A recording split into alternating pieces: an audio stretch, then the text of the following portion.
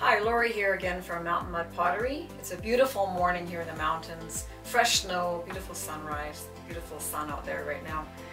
Today's demonstration, I'm going to show you how to throw a bowl on the wheel.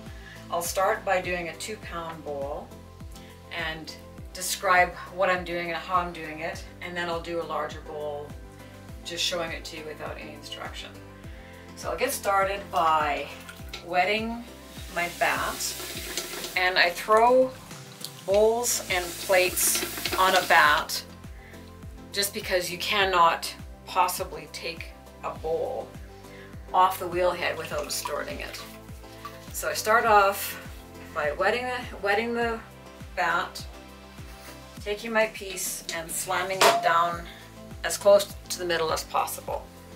And then as with everything I start with, I do a little chop on it just to make sure it's going to adhere to the bat or the wheel head. And then I run a dry finger on the bottom, again to give it more success on staying on the wheel head or the bat. Now I'm going to start by getting my hands wet. I'm going to be lubricating it with water but not soaking it with water. So I'm going to cone up and down a few times.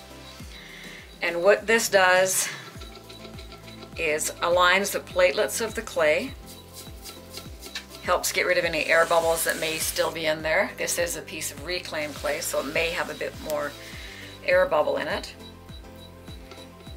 And gets the clay ready to open up. It also is the biggest part of centering, and centering is the most important thing to have ready when you are throwing anything on the wheel. If it's not centered, it won't open properly, it'll be uneven, and it just won't work for you.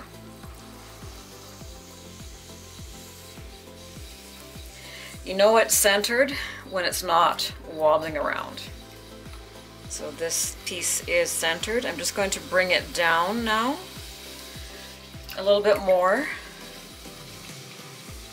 to get it ready to open up. Everything I do, I follow down right to the wheel head or the bat. So now it is ready to open. So I flatten the top with that part of my hand. And I'm going to open using my middle finger. I find the center, the very center of the piece and it feels quite still and quiet right there. That's when I know it's the center. And I'm just gonna push my fingers down. My middle finger supported with my other fingers. And then I'm just going to pull straight towards me.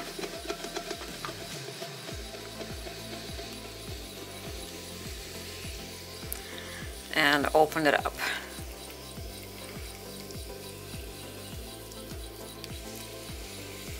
Now next I'm going to compress the bottom and by compressing I mean just going back and forth. This makes the bottom flatter and also helps eliminate any cracking that may happen on the bottom.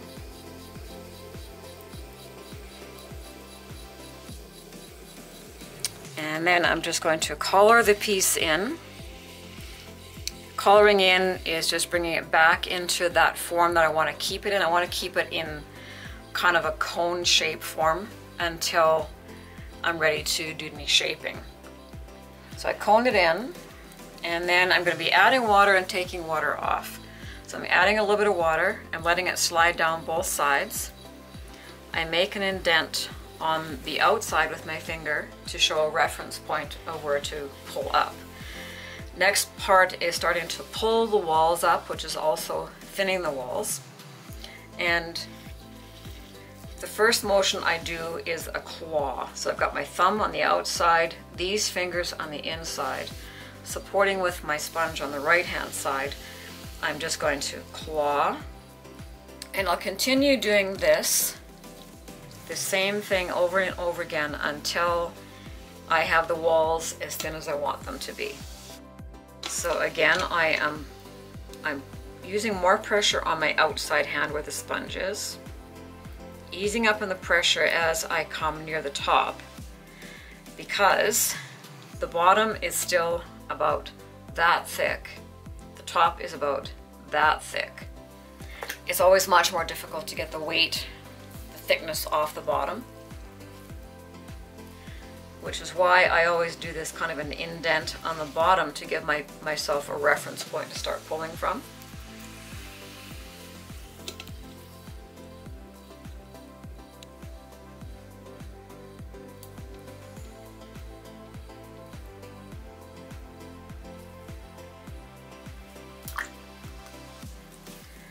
One more pull should do it and then I'll start shaping it as a bowl. So now I'm going to start pulling it outwards a little bit. So now my inside hand is kind of pulling towards my outside hand. And I always want to pull right to the very top, gently let go, and always compress the rim to keep it at a stable thickness and also so it doesn't get jagged. I'm always going to be taking the water out. You don't want water to pool in there because that will weaken it and also possibly create any cracks that you definitely don't want. So now it's about that thick right here in the bottom. So now I want it to be more an open bowl shape. So I'm going to start pulling more like this with my inside hand, supporting with my outside hand.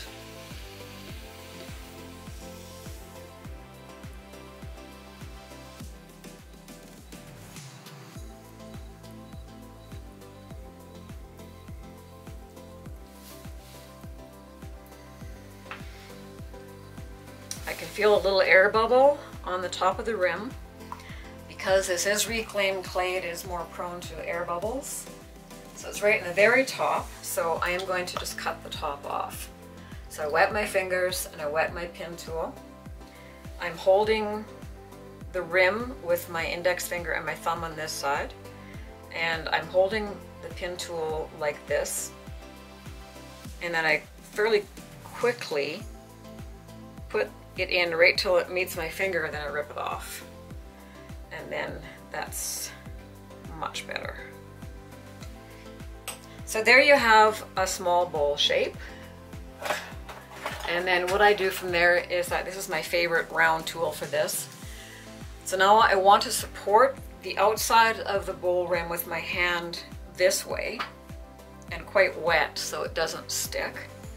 And then I am going to kind of make a little bit of a rim there.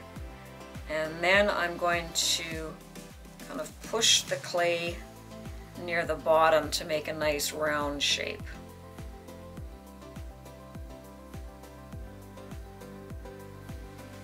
And then come back up. So there you have a nice little two pound bowl. I would then take my wooden tool and cut off this thickness. A bit of thickness on the bowl to support the weight of the bowl. It's more important in bigger pieces, but it also helps a lot in this. So I'm just going to cut off the excess. And this tends to want to stick to the piece when you try to take it off like this.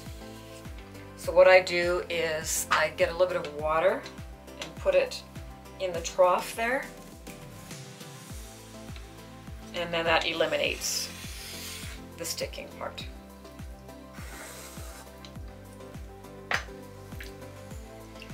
So then this, I would just cut off the wheel with my wire tool. So very slowly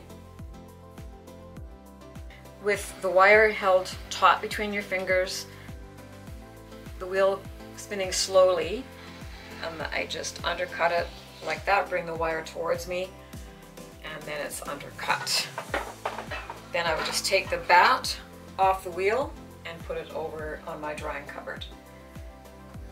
So with this shape, you cannot take it off the wheel head without using a bat. Now I'm going to be doing a four pound bowl. Same kind of idea, but I, will just do it and not, uh, not explain.